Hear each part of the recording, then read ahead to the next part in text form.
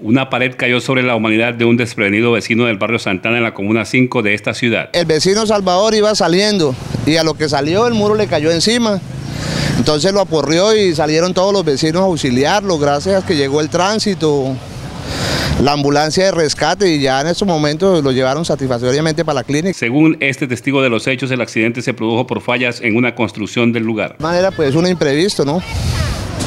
Un llamado para que la gente tenga cuidado.